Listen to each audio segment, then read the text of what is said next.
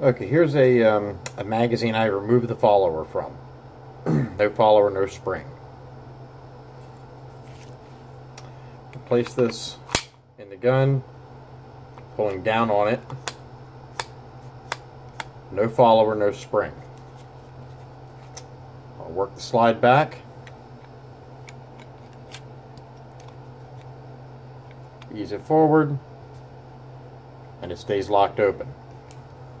Obviously the slide stop's not engaged because there is no follower to engage it. What's happening is the feed lips are hitting the bottom of the slide. Uh, you probably can't see that. But that's what's happening. Again, it's not because I'm pushing up on the mag. It's obviously not the follower holding it up. The mag is causing drag on the slide. So I can bump it into battery.